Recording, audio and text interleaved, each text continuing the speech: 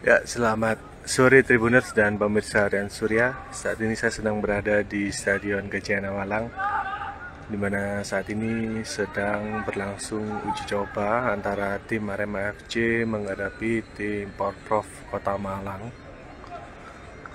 Dan uji coba ini digelar setelah tim Singoedan menjalani pekan kedua menghadapi Persib Bandung kemarin di Stadion Kapten Iwayan di Bali.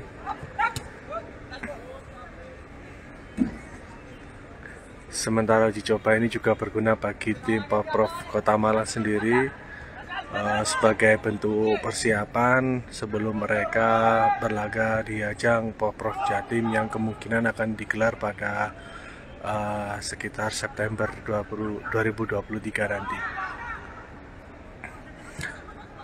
Dalam uji coba ini tim FC banyak uh, menurunkan pem, para pemain lapis kedua.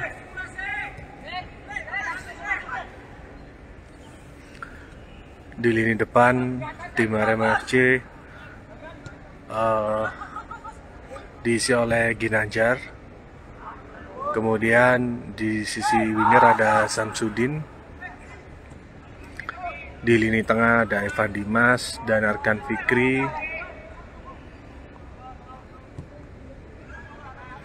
Kemudian di daerah pertahanan ada Arsyad Kufron yang berduet dengan Saiful Anwar.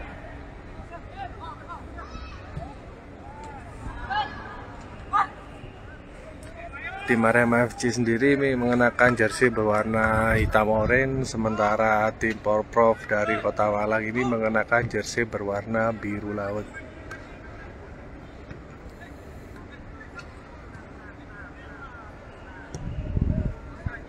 Dan ini merupakan serangkaian coba dari tim Arema FC dari menghadapi tim Porprov yang ada di daerah Jawa Timur setelah sebelumnya uh, Arema FC telah menjalani uji coba melawan tim Pemprov dari Sidoarjo, kemudian dari Lamongan,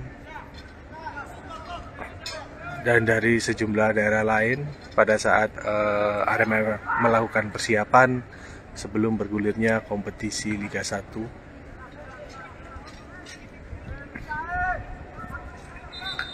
Dan sesuai jadwal nanti pada tanggal 15 Juli Arema FC akan bertandang ke Stadion Brawijaya Kediri untuk menghadapi tim Persik Kediri atau Macan Putih.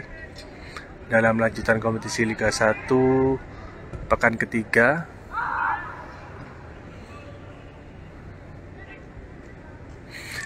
Setelah di pekan pertama dan pekan kedua Arema FC gagal meraih 3 poin